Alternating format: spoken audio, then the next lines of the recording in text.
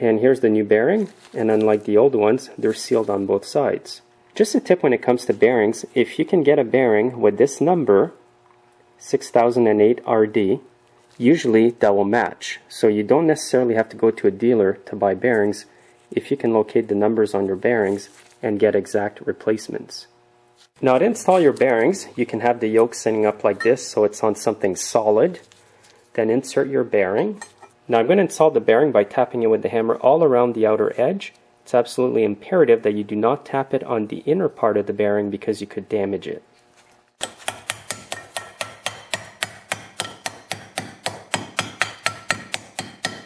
And as you can see, it's starting to go in. It's about halfway in, and it's a bit hard to hit it now because part of the yoke is there. But I'm going to use a socket. I'm just going to tap it on the outer edge of the bearings only. And when you do this, go all the way around so the bearing goes down evenly. So as you can see, all the pressure going on the bearing is on the outer part.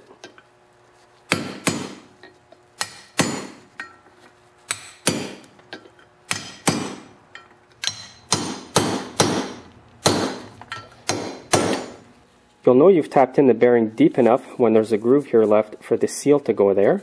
And if you flip it over, you're going to see that it meets the ridge inside here perfectly. Also, I forgot to mention you can add a bit of grease inside here before you insert the bearing. It might make it a bit easier to go in.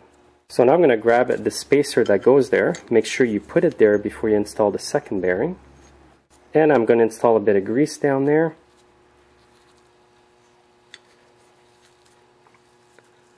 Also the grease will hold the spacer in place for you. And I'm going to wipe some grease all around the edge where the bearing is going to slide in. Now I'm going to put this on a piece of hardwood like that. I'm going to line up the second bearing. So I'm going to start tapping it down evenly. Make sure you do not tap the inside part of the bearing or you could damage it. I keep repeating that because it's imperative you do that or else you may have to go buy new bearings.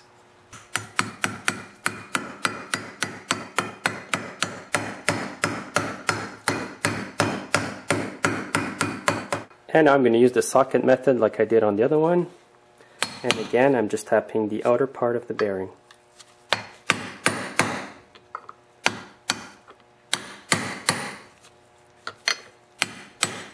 Before you're done tapping the bearing in all the way, you can reach in and line up the spacer with the bearings.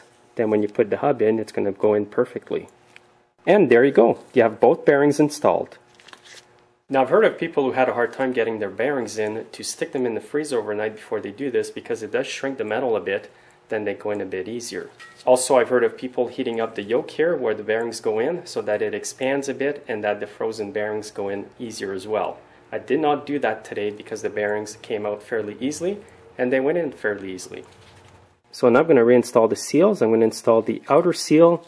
This is the one that faces the wheel and it's the thinner seal like this. Just going to line that up perfectly and gently tap all around. I'm also going to use a 2 inch piece of ABS pipe. I've grinded part of it here so that it's smaller.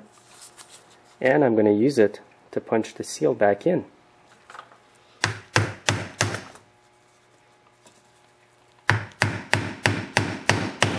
There's a lot less chance of damaging your seal using this piece of pipe.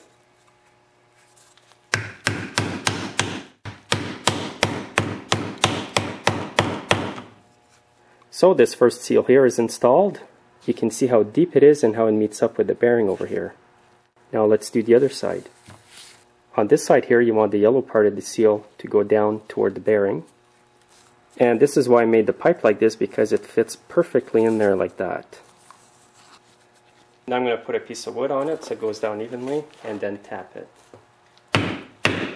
And if the seal's not going in evenly, take off the piece of wood and work your way around the piece of pipe. And this is how you want it to look when the seal's installed.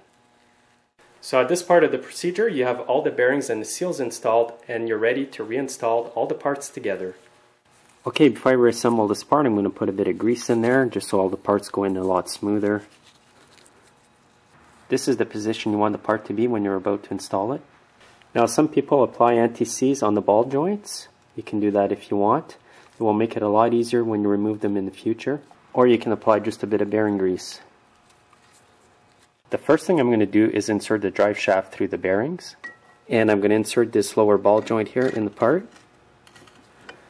You may have to turn it a bit just to get it down in there. Now I get the upper ball joint installed. Now I'm going to apply a bit of blue Loctite on the bolts for the ball joints. And make sure the ball joint's in as tight as it can and then put the bolt on. And now with the 12 millimeter socket, just tighten it up. I don't have the specs with me today, but all I know is that I'm going to put it on pretty tight. Now I'm going to install the lower ball joint bolt, and again I've applied a bit of blue Loctite on it. Sometimes you have to wiggle the whole thing just to get the bolt to properly catch on the threads.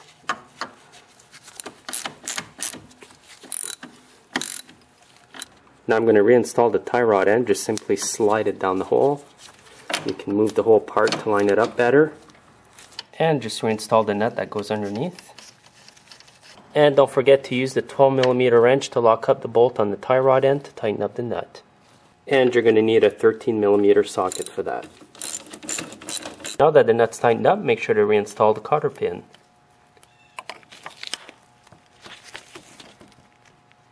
So now that all the bolts are on securely, I'm going to reinstall the guard that goes over here. And there's three 10 millimeter bolts that go on.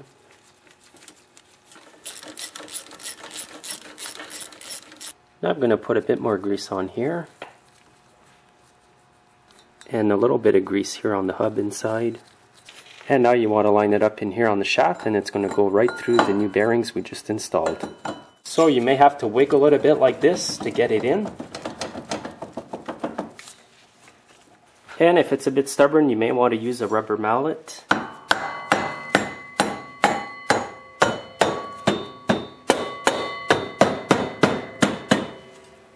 Next, the washer is going to go here, and a large 30 millimeter nut. And to tighten up the nut, I am not going to use an impact wrench. I'm just going to use a breaker bar with the socket. And it's going to have to be on there fairly tight.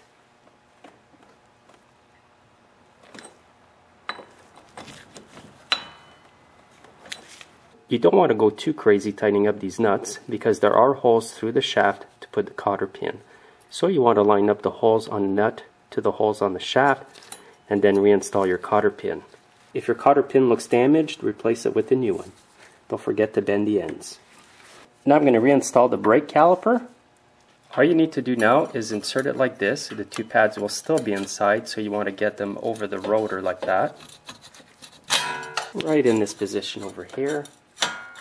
And now you want to install the two Allen bolts that hold the caliper on. Now the top bolt for the caliper goes right over here. So you want to line up the caliper to the bolt, bolt it in, and don't forget it's an Allen head. And the second bolt's right down here. So again, you may have to move the caliper to line up the holes, then screw it in. Now tighten up both bolts that hold the caliper on. I do not have the torque specs, but all I know is that it has to be fairly tight. So as far as I can see, everything looks to be on there okay. There's no more play in the hub here. All that's left to do now is to make sure that everything is tight. Double check all your bolts to make sure you did not forget to tighten up any of them. And you can also check the rest of your suspension while you're at it. Another important thing to check are the CV boots on the shafts. If you see grease coming out of them or they're cracked, you should replace them before things get worse. So now I'm just going to reinstall the front wheel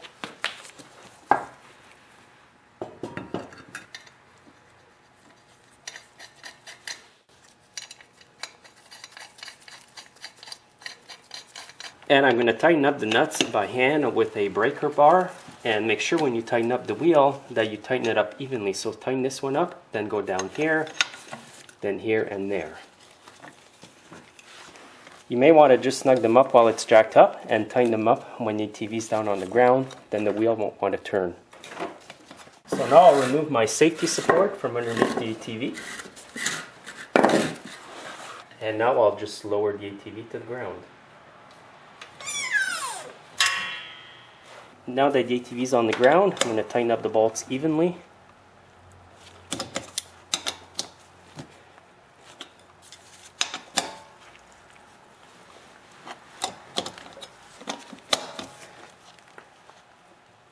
And now don't forget to install the little rubber cap.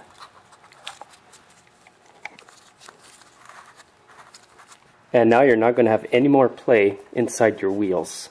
And now that you're done this wheel, just repeat the exact same process on the other side. So thanks for watching and we'll see you next time.